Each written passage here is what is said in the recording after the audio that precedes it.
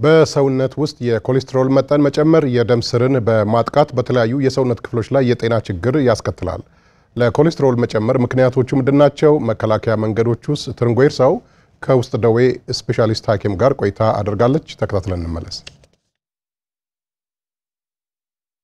በሰውነት ውስጥ ከምንመገበው ምግብ የሚገኙ ሊፒድ ወይም ስባማ ተብለው የሚጠሩ ንጥረ ነገሮች አሉ። ከእነዚህ ውስጥ አንዱ ኮሌስትሮል ነው። ኮሌስትሮል ለሰውነታችን አስፈላጊ የሆነ ንጥረ ነገር ነው። ይህ ንጥረ ነገር በሰውነት ውስጥ የተለያየ ተግባር የሚያከናውኑ ንጥረ ቅመሞችን ወይም ሆርሞኖችን እንዲያመርቱ አይነተኛ ሚና ይጫወታል። ኮሌስትሮል ጥቅሞች ያሉትን ያክል በደም ውስጥ ከመጠን በላይ ሲጨምር ደግሞ የሚያስከትለው የጤና ጉዳቶች አሉ። የደም ስሮችን በማጥቃት የተለያዩ የሰውነት ክፍሎች ላይ የጤና ችግር የሚያስከትል መሆኑንም ከአሚኮ ጋር ቆይታ ያደረጉት የውስጥ ደዌ ስፔሻሊስት ዶክተር ዶክተር አሰፋ መኳንንት ገልጸዋል። ደም ውስጥ የኮሌስትሮል መከማቸት፣ ደም እንዲረጋ ደም ውስጥ ደም እንዲረጋ ማድረግ፣ የደም ስሮችን መዝጋት፣ የሆነ የሰውነታችን ቦታ ላይ ቁስለት ወይም ደግሞ የደም መቋረጥ እንዲኖር ማድረግ። እንደዚህ ከሚሆንባቸው ዋነኛዎቹ የሰውነታችን ክፍሎች ልብ በዋነኛነት ይጠቀሳል። ስለዚህ የልብ ጡንቻዎች ወደሚወስዱ የደም ስሮችን ደም ይረጋና ይዘጋል። የልብ ጡንቻ መቁሰል ይከሰታል። የልብ ድካም ይመጣል ማለት ነው። አንደኛው ዋነኛው ችግሩ እሱ ነው። በሁለተኛ ደረጃ ልንጠቅሰው የምንችለው ስትሮክ የምንለው በተለምዶ መጋኛ እያሉ በአማርኛ ይጠሩታል። ስትሮክ ነው ብለን የምናውቀው እኛ። ስለዚህ ስትሮክ እንግዲህ ጭንቅላት ውስጥ የደም መፍሰስ ሊሆን ይችላል። ጭንቅላት ውስጥ በረጋ ደም ምክንያት የደም ስር መዘጋት ሊሆን ይችላል። ድንገተኛ የሆነ ራስን የመሳት ግማሽ አካል ወይም ደግሞ ሙሉ አካል የመፍዘዝ ሽባ የመሆን ችግር የሚያመጣው ስትሮክ የምንለው ነው። ስለዚህ ሁለተኛው አይነተኛ ችግሩ ስትሮክ በደም ውስጥ የኮሌስትሮል መከማቸት ምክንያቶቹ አካባቢና ተፈጥሯዊ ሲሆኑ ከመጠን ያለፈ ውፍረት፣ የስኳር በሽታ፣ ቅባታማ ምግቦችን ማዘውተር፣ አልኮል በብዛት መጠቀም በዋናነት የሚጠቀሱ መሆናቸውንም ዶክተር አሰፋ አንስተዋል።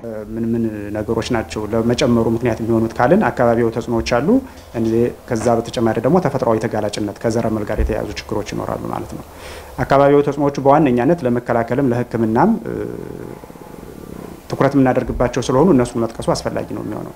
አካባቢው ተጽዕኖች ምንድናቸው ካልን ይህ ስኳር በሽታ ለምሳሌ ያለበት ሰው፣ ከመጠን ያለፈ ውፍረት ያለበት ሰው፣ ከፍተኛ የሆነ አልኮል የሚጠቀም ሰው፣ የአመጋገብ ስርዓቱ ጥሩ ያልሆኑ ያልሆኑ ሰዎች እነዚህ የተፈጥሮ ተጋላጭነት ሲደመርባቸው ኮሌስትሮል የሚያመጣውን ችግር በደም ውስጥ የኮሌስትሮል መከማቸት፣ ደም እንዲረጋ ደም ውስጥ ደም እንዲረጋ ማድረግ፣ የደም ስሮችን መዝጋት የሆነ የሰውነታችን ቦታ ላይ ቁስለት ወይም ደግሞ የደም መቋረጥ እንዲኖር ማድረግ የአመጋገብ ስርዓትን ማስተካከል፣ የአካል ብቃት እንቅስቃሴ መስራትና ተከታታይነት ያለው የጤና ምርመራ በማድረግ በኮሌስትሮል መጨመር ምክንያት ሊደርሱ የሚችሉ የጤና ችግሮችን መቀነስ እንደሚቻልም ስፔሻሊስት ሐኪሙ አሳስበዋል። አንደኛ አመጋገባችን የአመጋገብ ስርዓታችን ነው። አመጋገብ ስርዓታችን ስንል በዋነኛነት ኃይልና ሙቀት ሰጭ ወይም ደግሞ ካርቦሃይድሬት ብለን የምንጠራቸውን ምግቦች በብዛት የሚመገቡ ወይም አዘውትረው የሚመገቡ ሰዎች ለኮሌስትሮል መጠን መጨመር ተጋላጭ ናቸው በከፍተኛ ሁኔታ።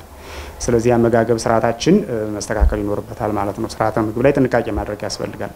አትክልቶችን፣ ፍራፍሬዎችን ማዘውተር፣ ጥራጥሬዎችን ማዘውተር ይመከራል። እነዚህ ነገሮች እንዳይከሰቱ የጤና ምርመራ ማድረግ፣ ተከታታይ የሆነ የጤና ምርመራ ማድረግ፣ ክብደትን መቀነስ፣ አካል ብቃት እንቅስቃሴ ማድረግ፣ ስኳር ወቅቱን ጠብቆ መታየትና ሕክምና የሚያስፈልገው ሕክምና ምክር የሚያስፈልገው ምክር እየወሰደ የስኳር ሁኔታውን ያለበት ሁኔታ ማወቅ እነዚህ ጠቃሚ የሆኑ ምክሮች ናቸው። በሀገራችን ከደምና ከልብ ጋር የተያያዙ ችግሮች በከፍተኛ ሁኔታ እየጨመሩ መሆናቸውንም መረጃዎች ያሳያሉ።